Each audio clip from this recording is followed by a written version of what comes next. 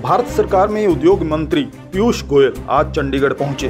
चंडीगढ़ से भाजपा के लोकसभा प्रत्याशी संजय टंडन के साथ एक प्रेस वार्ता की, जिसमें इन्होंने संजय टंडन को अपने युवा समय का मित्र बताया और विरोधी दलों पर निशाना साधा। चलिए दिखाते हैं उद्योग मंत्री पीयूष गोयल ने क्या कुछ कहा।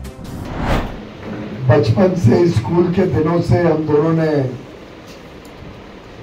बहुत सारी छुट्टियाँ एक साथ मनाई हैं।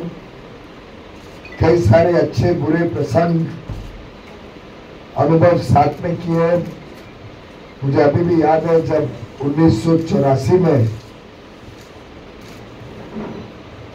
गोल्डन टेंपल पर हमला हुआ था और अकल तख्त को भी उस समय की कांग्रेस की सरकार और आज के वर्तमान के कांग्रेस के नेता की दादी ने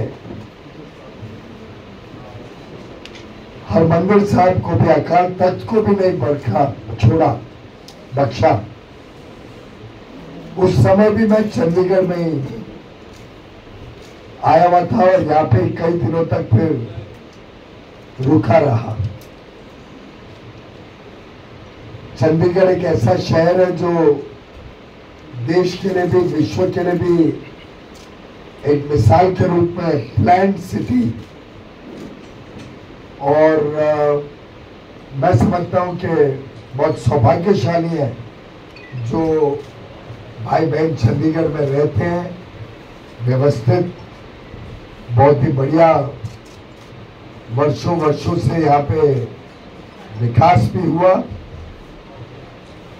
और आगे चल के प्रधानमंत्री नरेंद्र मोदी जी के नेतृत्व में चंडीगढ़ के लिए बहुत सारे नए प्लान्स और योजनाएँ भी संजय टंडन जी के नेतृत्व में लेकर हम काम करने वाले हैं। राष्ट्रपति से ओतप्रोत आज पूरे देश में और वैसे तो पूरी दुनिया में आज उनकी लोकप्रियता चरम सीमा पर है। मैं स्वयं मुंबई में चुनाव लड़कर आया हूँ।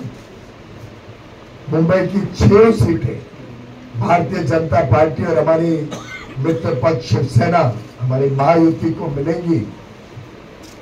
दक्षिण में हम सबसे बड़ी पार्टी बनकर उभरना लगभग निश्चित है।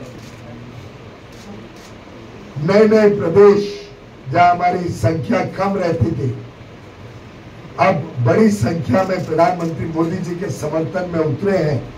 चाहे वो तेलंगाना हो, आंध्र प्रदेश हो, चाहे वो उड़ीसा हो, जहाँ अनुमान है कि 21 में से 18 सीटें तक भाजपा जीत सकती है।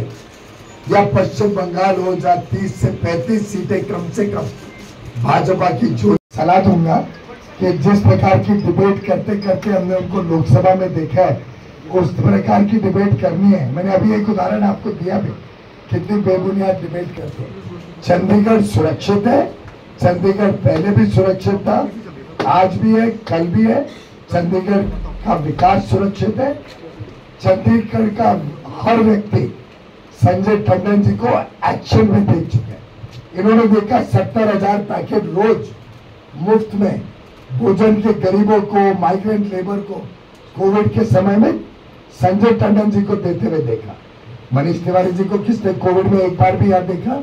एक भी सेवा कार्य करते हुए पिछले चालीस साल के बोलते हैं, मेरा संबंध है आप चंडीगढ़ से। बता दे, चार काम जो उन्होंने सेवा के किए हो चंडीगढ़ में।